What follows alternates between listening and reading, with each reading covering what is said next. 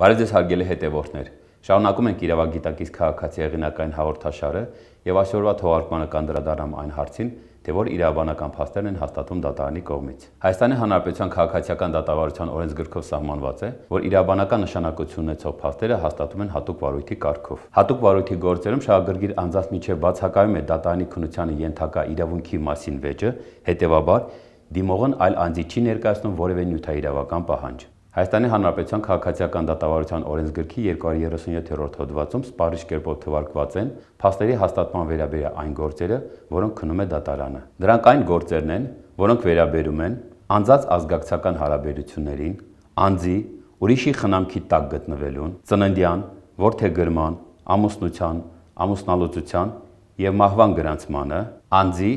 որոշակի ժամանակում եւ որոշակի հանգամանքներում մահվանը եթե քաղաքացիական կացության ակտերի գրանցման մարմինները մերժում են մահվան գրանցումը։ Ժառանգություն ընդունելուն եւ ժառանգության բացման վայրին, դժբախտ պատահարին, իրավունք սահմանող փաստաթղթերի պատկանելությանը,